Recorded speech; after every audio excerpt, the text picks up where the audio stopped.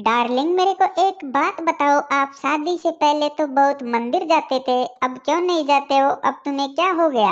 अब तुमसे शादी हो गई और भगवान पर से भरोसा उठ गया।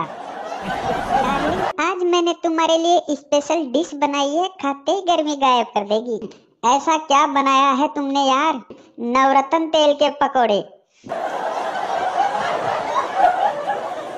जानू, तुम्हारे इन आलू के पराठों में आलू तो नज़र ही नहीं आ रहे हैं। चुपचाप खा लो, कश्मीरी पुलाव में क्या कश्मीर नज़र आता है? सुनो जी, आप बहुत भोले हैं, आपको कोई भी बेवकूफ़ बना देता है। शुरुआत तो तेरे बाप ने ही की थी। सुनो जी, हमारी पड़ोसन हर संडे अपने पति के साथ बाहर घूमने जाती है, पर क्या आप कभी लेके गए हैं? मैंने तो उससे चार पाँच बार पूछा है, पर वो मना कर देती है। जानू, आज बाहर खाना खाएँगे।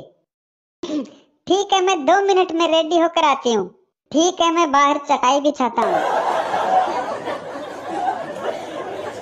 डार्लिंग, सुनते हो जी, मेरी उम्र 48 साल होते हुए भी आपका एक दोस्त मेरे हुस्न की तारीफ़ करता है। उस्मान भाई होगा। आपने कैसे पहचाना उनको? वो साला कबाड़ी है, पुराना माल देखता है।